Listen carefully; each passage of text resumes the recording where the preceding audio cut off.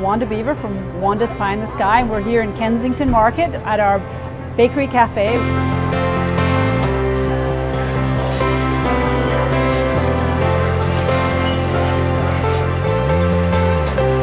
Well, I've been in the baking business for about 25 years. I have an arts background. I went to OCAD, Ontario College of Art and Design, and while I was graduating, somehow the baking took over, and 25 years later, here I am.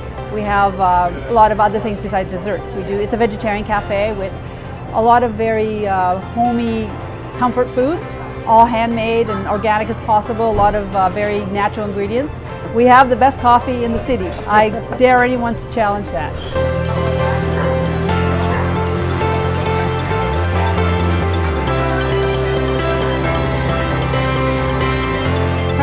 Meditation came to me in high school.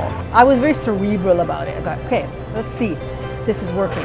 I thought it was too easy. It took two years to kind of dawn on me that something profound had happened. I'd be in a lunatic asylum by now if I didn't do TM. I mean, uh, running your own business, you have to wear all hats and you're up seven, seven days a week. I still work seven days a week. So it, it definitely makes you able to cope with all kinds of stuff you wouldn't be able to do normally. You know, eh, a lot of stressful things and just general working with people. People come into a shop like this, they come in because it's beautiful colors, it's nice and warm, they're eating pie or nice macaroni and cheese, very comforting. And they're bringing their day's garbage with them.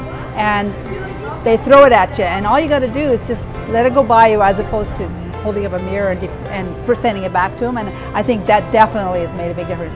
I had a couple of, of my employees who started meditating. That's the biggest change I noticed in them was that kind of confidence where you don't take things personally.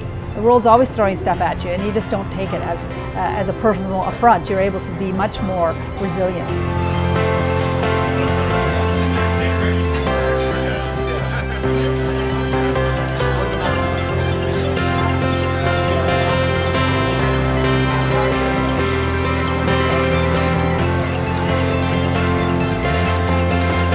Energy. People go, how do you have so much energy? You're here seven days a week.